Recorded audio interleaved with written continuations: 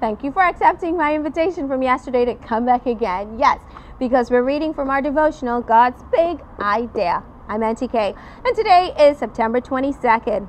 Our title is The Savior of the World, and our scripture text is from 1 John 4, verse 14, and it says, The Father sent His Son to be the Savior of the world. Jesus and Samaritans were bitter, not Jesus, Jews. Jews and Samaritans were bitter enemies.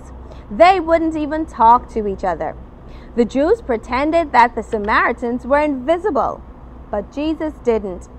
He walked right through Samaria, dragging his reluctant disciples along. At noon, they came to a well. Jesus sat down, and the disciples went into the village to buy some food. Along came a woman from the village to fill her jar with water. She was a Samaritan. She pretended Jesus was invisible. Jesus said, Please give me a drink. The woman was astonished. It was the custom to give travelers water, but a Jew wouldn't have accepted it from her. So she thought there was no point in offering. She said, I am surprised that you asked me for a drink. You are a Jew, and I am a Samaritan. She was honest. So was Jesus.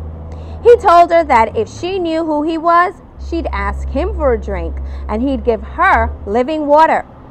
She didn't know what it meant, but she was curious. Jesus said, Whoever drinks the water I give will never be thirsty again. She heard Jesus say, Whoever. That included her, a Samaritan. She was thirsty. She wanted that water. She was beginning to understand. She said, When the Messiah comes, he will explain everything to us. And Jesus said, I am he. The woman ran back to the village and told everyone to come and see. They came and listened to Jesus teach for two days. The villagers said, we know that this man really is the Savior of the world. They were right. Jesus is the Savior of Jews, Samaritans, of everyone. He is the Savior of the world. And I'm so thankful that He is. I am.